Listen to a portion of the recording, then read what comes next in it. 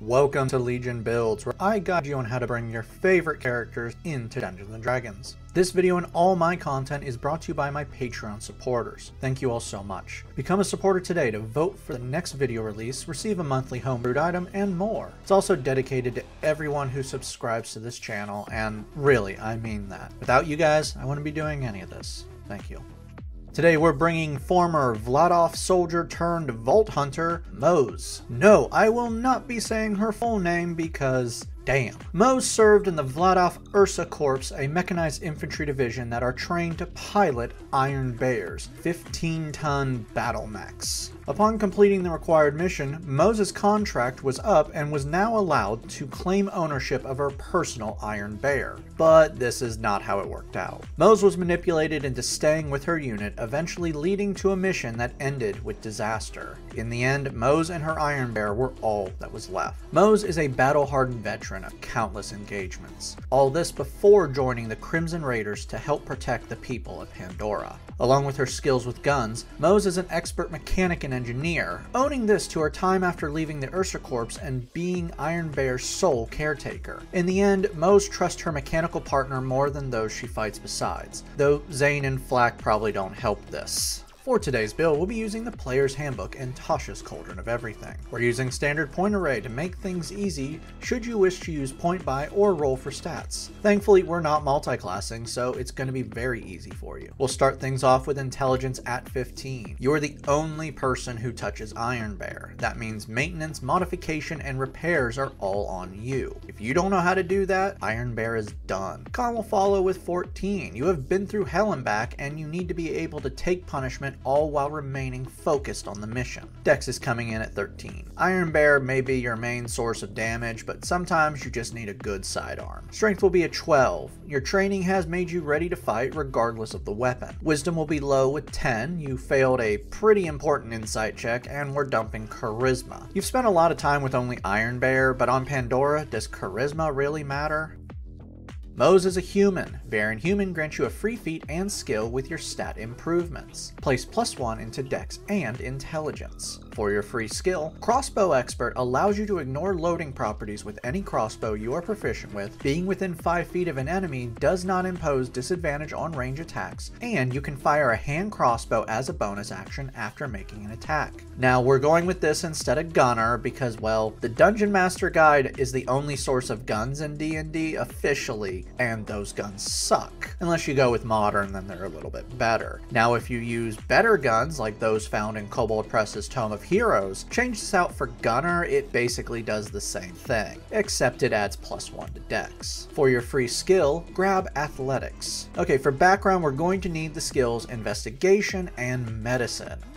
We'll need to focus on your combat skills and mechanics, so we have just the perfect class for it. Level 1 Artificer, found in Tasha's, starts off with two skills. Take Arcana and Perception. Magical Tinkering gives you the ability to imbue tiny non-magical objects with effects, such as allowing it to shed light, project a static image, emit an odor, or deliver a recorded message. You can use your action to do this a number of times equal to your intelligence modifier. Spellcaster grants you the ability to cast spells. At the end of each long rest, you can prepare a total number of spells equal to your intelligence modifier plus half your artificer level. You're going to start off with two cantrips and four spells. For these spells, Firebolt launches a small missile that deals 1d10 fire damage on contact. Mending lets you repair a break or tear in an object you touch that is no larger than 1 foot in any dimension. Cure Wounds lets you heal 1d8 plus your intelligence modifier. Featherfall stops all fall damage on up to 5 creatures within 60 feet. Alarm creates a 20 foot cube within 30 feet. When you cast this spell, you can choose who can pass through or enter the cube. If someone who isn't designated passes into the cube, you are automatically alerted. Even if you are asleep, this wakes you up.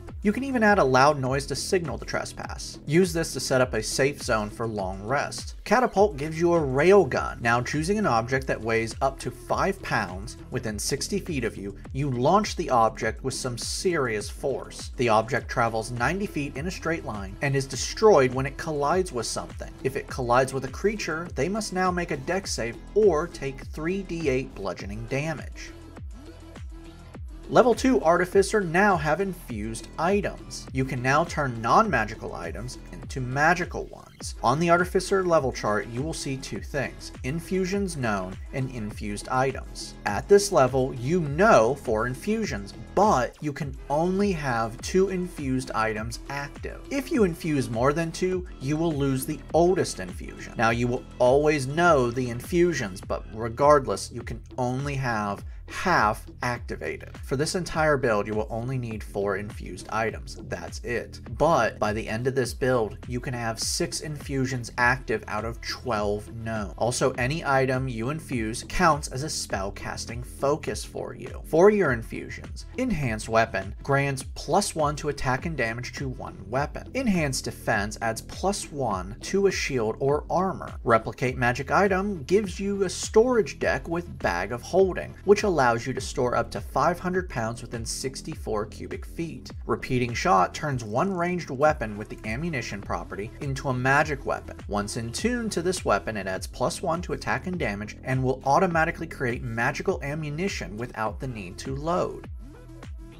Level 3 Artificers receive their subclass, and it's time to get Iron Bear. Well, actually, it's time to get Iron Cub, which is just Iron Bear shrunk down. Battlesmith, also found in Tasha's, grants you Battle Ready. You now have proficiency in all martial weapons. And when you attack with a magical weapon, you can now use your intelligence for attack and damage. Steel Defender creates a metal friend for you to go into battle with. The Steel Defender assumes the form of your choosing and is a size medium. It has an AC of 15 and has an HP equal to 2 plus your intelligence modifier plus 5 times your artificer level. Using your bonus action, Iron Cub can attack with a melee strike that deals 1d8 plus your proficiency bonus on a hit. It can even heal itself or you can heal it by using the spell Mending, which will give it back 2d6. It can also use its reaction to deflect attack. When Iron Cub sees another creature attacked within 5 feet of it, it can impose disadvantage to the attack. Battlesmith spells grant you additional spells at certain levels and are always prepared and don't count towards your total prepared spells. For these Battlesmith spells, Shield grants 5 plus to your AC as a reaction. Heroism grants temporary HP to a willing creature you touch for 1 minute while you maintain this spell. The temp HP equals your intelligence modifier, and it gains this temp HP at the start of each of its turns while it's active. While active, the creature is also immune to the frightened condition. Right tools for the job allows you to magically create a set of artisan tools of your choice.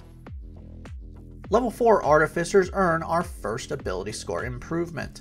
Bump up intelligence for better spell attack and DC. You can also now prepare 6 spells per long rest.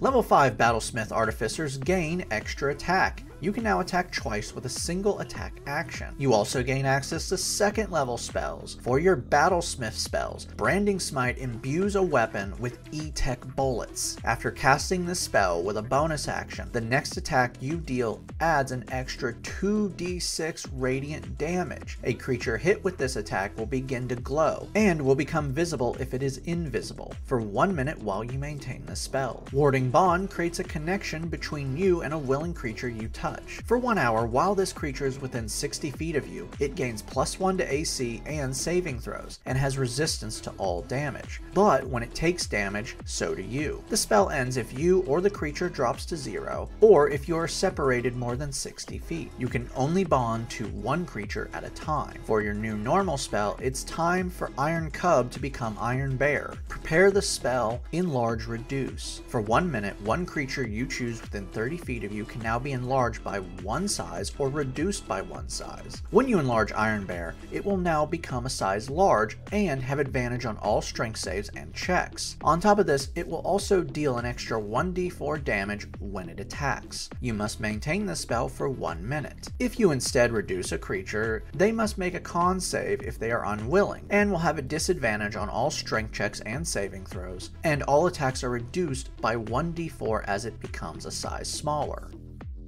Your character level 5, Firebolt, now does 2d10 fire damage.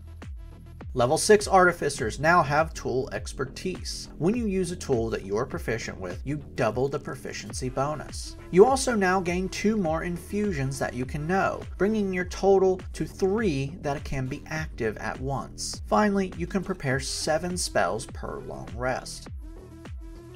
Level 7 Artificers receive Flash of Genius. Now when you or another creature you see within 30 feet makes a skill check or saving throw, you can use your reaction to add your intelligence modifier to the roll. You can do this a number of times equal to your intelligence modifier per long rest. Level 8 Artificers earn another ability score improvement. Let's max out intelligence for better spell attack DC, and you can now prepare a total of 9 spells per long rest. Level 9 Battlesmith Artificers gain Arcane Jolt. Now when you hit a creature with a magic weapon, or when Iron Bear hits with an attack, you can activate one of two effects. You can deal an extra 2d6 force damage, or heal one creature within 30 feet of the creature you hit that you can see, restoring 2d6 hit points. You can use this feature a number of times equal to your intelligence modifier between long rest. You also gain access to third level spells. For your Battlesmith spells, Aura of Vitality creates a 30 foot radius field around you for one minute while you maintain the spell. Until the field ends, you can use a bonus action to heal one creature inside the field, including you, 2d6 hit points. Conjure Barrage gives you an automatic weapon. When you fire a piece of non-magical ammunition, a 60 foot cone is created. Everyone within the cone must make a dex save or take 3d8 of the ammunition's damage type. Level 10 Artificers are Magic Item Adepts. You can now attune to 4 magic items, not 3, and you can craft common and uncommon magic items faster and cheaper. You also bring your total infusions known to 8 and can now have 4 active. Enhanced Weapon and Enhanced Defense are now upgraded now adding plus 2 to the infused items. You can now have 10 spells prepared per long rest. For your new cantrip, Acid Splash creates a corrosive grenade. Targeting one creature within 60 feet, or two if they're standing next to each other, you force a dex save. Should they fail, they take 2d6 acid damage. Level 11 Artificers receive Spell Storing Item. You can now store one spell within a weapon or spellcasting focus at the end of a long rest, as long as they are a first or second level Artificer spell that has a casting time of one action, such as Cure Wounds or Enlarge Reduce. While holding an object, a creature can cast the spell using your Intelligence modifier, and if it requires concentration, they must be the one to maintain this. This spell stays with the object and can be used a number of times equal to twice your Intelligence modifier which means it can be used 10 times. You can only have one spell storing item at a time. You are now character level 11. Firebolt now does 3d10 fire damage and Acid Splash does 3d6 acid damage. Level 12 Artificers earn another ability score improvement. Place this into con for better health and focus. You can now prepare a total of 11 spells per long rest. Level 13 Artificers gain 4th level spells. For your Battlesmith spells, for your Battlesmith spells, Aura of Purity emits a 30 foot radius field around you for 10 minutes while you maintain the spell. Until the field ends, each non-hostile creature within the field, including you, has resistance to poison damage and has advantage on saving throws that cause the following condition. Blindness, Charmed, Frightened, Paralyzed, Poisoned, and Stunned. Fire Shield creates a Fire Spike or Ice Spike shield around you. When you cast cast this spell, when you choose its form, warm or chilled, granting certain effects for 10 minutes without being maintained. A warm shield grants you resistance to cold damage and deals 2d8 fire damage to a creature that hits you with a melee attack that is within 5 feet of you. Chilled shield grants you resistance to fire damage and deals 2d8 cold damage to a creature that hits you with a melee attack that is within 5 feet of you. Time for an even better shield. Prepare the spell Otiluke's Resilient Sphere. For one minute while you maintain this spell, a force field is created around a creature that is within 30 feet of you that is a size large or smaller. Nothing can pass through the sphere and the creature inside can now not be damaged or suffer any effects from outside the field. They can also not leave the field or damage anything outside of it. A creature inside can use its action to move the weightless field as if it's inside of an orb. Warning about this part though, if a creature outside the field is actually large enough, they can pick up the field with the creature inside. The only way to destroy this field is with the spell Disintegrate. Level 14 Artificers are now magic item savants. You can attune up to 5 items at once and can ignore all requirements for attunement a magic item can have. You now have 10 infusions known and 5 active. You can now prepare 12 spells per long rest. For your new cantrip, Ray of Frost creates an ice grenade. You can now throw this grenade at one creature within 60 feet, dealing 3d8 cold damage on impact and reducing its speed by 10 feet until the start of your next turn turn. Level 15 Battlesmith Artificers now have improved Defender. Now your Arcane Jolt does 4d6 damage or 4d6 healing. Iron Bear's AC is now 17, and now when Iron Bear uses its Deflect attack reaction, the attacker will now take 1d4 plus your intelligence modifier in force damage. Level 16 Artificers earn another ability score improvement. Let's bump up Con again. You can now prepare a total of 13 spells per long rest. Level 17 Artificers gain 5th level spells. For your Battlesmith spells, Banishing Smite empowers your shots with a bonus action for 5d10 force damage on a hit. When you hit with this weapon attack and the creature is reduced to 50 hit points or lower, you banish it. If the target hit is from another plane of existence, they return to their home plane. If not, for one minute while you maintain this spell, they are held in a small pocket dimension until the spell ends. Mass Cure Wounds creates a 30 foot radius sphere centered out to 60 feet away from you. Up to 6 creatures of your choosing inside the sphere, which can include you, regain 3d8 plus your intelligence modifier in hit points points. For your normal spell, prepare Greater Restoration. You can now touch one creature and produce one effect. That effect can be reducing their exhaustion level by one, and one effect that is charming them or petrifying them, ending one curse, ending a stat reduction, or ending an HP max reduction. Your character level 17 now. Firebolt, Acid Splash, and Ray of Frost now do 4 damage dice each. Level 18 Artificers are now Magic Item Masters, allowing you to attune to 6 magic items. This goes great with the fact that now you know 12 infusions and can have 6 active at once. You can also now prepare 14 spells per long rest. Level 19 Artificers earn our final ability score improvement, Cap Off Con for amazing health and focus on your concentration spells. Remember, health stacks retroactively over the build. Our final level is level 20 Artificer, and you receive Soul of the Artificer. Now, all your saving throws are improved by 1 for each attuned magic item, and if you are reduced to 0 HP but not killed outright, you can use your reaction to end one of your infusions to drop to 1 instead. To end it all, you can now prepare a total of 15 spells per long rest. Now that we've hit level 20, let's recap. Your stats are Strength 12, Dex 14, Con 20, Intelligence 20, Wisdom 10, Charisma 8.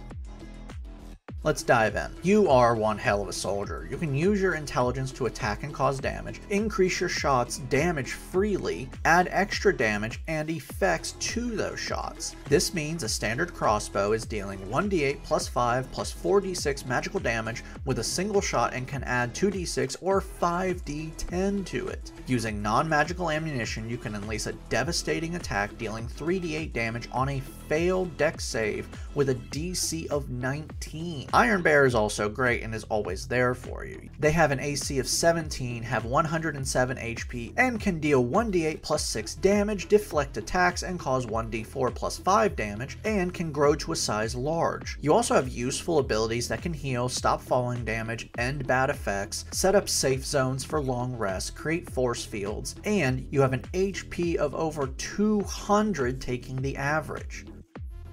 Downside, you have really bad charisma and a lot of concentration spells. That's it. This is actually a pretty good build. You always do magical damage and can keep yourself up and safe, and you're never alone. But you know, while Iron Bear is always there for you, they can never really be there for you. So go make friends and save the galaxy. Just be ready for some of those friends to sacrifice themselves like the heroes they are and basically break your heart. Seriously, my partner's still crying over what happened in Borderlands 3. Thank you for joining me today. I release a new build each week on YouTube and Spotify, so make sure to like and subscribe to not miss a single new build. Over on Patreon right now, you can help choose next week's build by becoming a supporter. Who will it be? Will it be Greed from Full Metal Alchemist, Medusa from Soul Eater, Lil Slugger from Paranoia Agent, or Shishio from Rurouni Kenshin?